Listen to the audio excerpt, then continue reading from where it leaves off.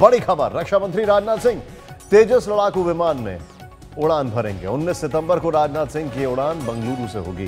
तेजस हल्का लड़ाकू विमान है, जिसे हिंदुस्तान एरोनॉटिक लिमिटेड, यानी एच ने तैयार किया है। मंजीत नेगी हमारे साथ है। मंजीत, पूरी खबर बताएँ। देखिए निशान लंबे समय से देश का जो पहला light combat aircraft LC Tejas है, उसको वायुसेना में शामिल करने की बात रही है और जल्द ही पहली स्क्वाडन तेजस की भारतीय वायुसेना में शामिल होगी। उससे पहले रक्षा मंत्री राजनाथ सिंह खुद एलसीए पर उड़ान भरेंगे। उन्नीस तारीख को बेंगलुरु में जहाँ पर हिंदुस्तान एरोनॉटिकल लिमिटेड एलसीए को तैयार कर रहा है, वहाँ पर इसकी उड़ान होगी। मार्क वन, जो कि सबसे आधुनिक लड़ाकू एयरक्राफ्ट है तेजस जो भारत ने खुद तैयार किया है, उसकी उड़ान होगी और रक्षा मंत्री उस पर उड़ान भरते नज़र आएँगे। तो एक तरह से बड़ा बूस्ट होगा खासतौर से मेक इन इंडिया की जो बात पिछले पाँच सालों में नरेंद्र मोदी सरकार करती रही है।